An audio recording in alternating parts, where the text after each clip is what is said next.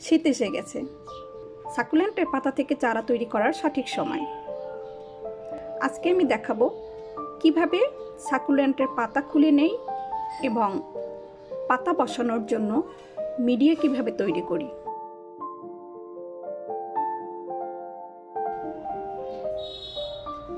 পাতা খোলার সময় আমরা এভাবে পাতাটা নিচের দিকে টান না দিয়ে পাতাটা দুই সাইড থেকে এভাবে নাড়া দিয়ে খুলে নেব। আমরা যদি নিচের দিকে টান দিয়ে পাতাটা খুলে নেই, তাহলে মাদার প্লান্ট ড্যামেজ হওয়ার সম্ভাবনা আছে। তাই আমরা দুই পাশে নাড়িয়ে পাতাটা খুলে নেব। মিডিয়া তৈরির জন্য আমি প্রথমে নিয়ে নিলাম এক কাপ কোকোপিট।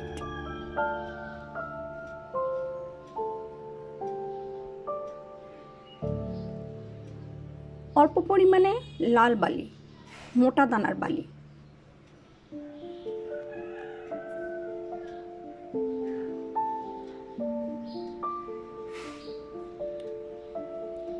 অল্প পরিমাণে ইটের রাবিশ সাইজগুলো এরকম হবে, ছোট ছোট। অল্প পরিমাণে ভার্মি কম্পোস্ট। অল্প পরিমাণে কয়লা।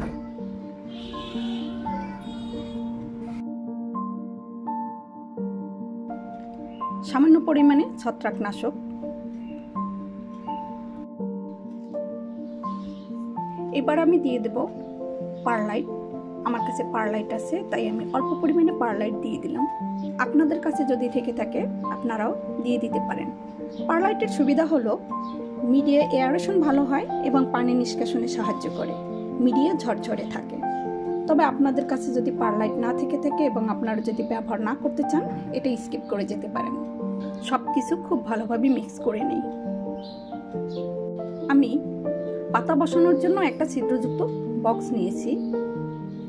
বরাবরের মতো আমি ইটের টুকরো দিয়ে একটা লেয়ার তৈরি করে দিয়েছি। যাতে পানি নিষ্কাশনটা ভালো হয়।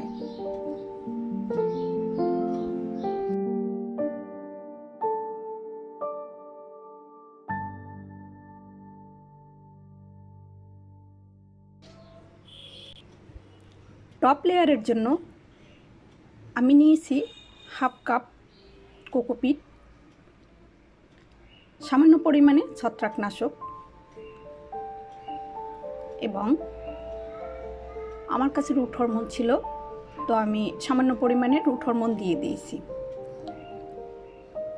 প্রশ্ন আসতে পারে রুট হরমোন কি খুবই জরুরি? না জরুরি না। রুট হরমোন ছাড়াও রুট আসবে। তবে রুট হরমোন দিলে রুট আসার সাথে সাথে গ্রোথ ভালো হয়। যদি আপনাদের কাছে রুট হরমোন থেকে থাকে, তাহলে একটু রুট হরমোন দিয়ে দিবেন। পাতাগুলোকে আমি মিডিয়ার উপরে বসিয়ে দিলাম।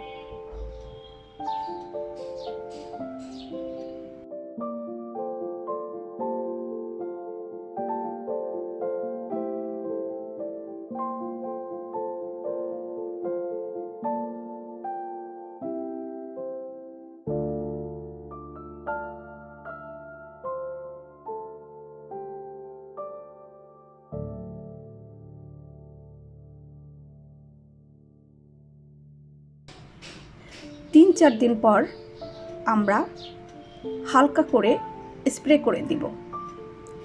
এভাবে সপ্তাহে দুই তিন দিন মিডিয়ে শুকিয়ে গেলে হালকা করে স্প্রে করে দিতে হবে। পরবর্তী ভিডিও আসবে। পাতায় রুট আসার পরে কী করতে হবে তার উপরে এবং মাদার প্লান্ট থেকে পাতা খুলে নেওয়ার পরে হেড চপিংয়ের পরে আমি কীভাবে তার কেয়ার করি সে সম্পর্কে আরও একটি ভিডিও যদি জানার আগ্রহ থাকে, তাহলে অবশ্যই সাবস্ক্রাইব করতে ভুলবেন না। ভালো থাকুন, সুস্থ থাকুন। আজকে পর্যন্ত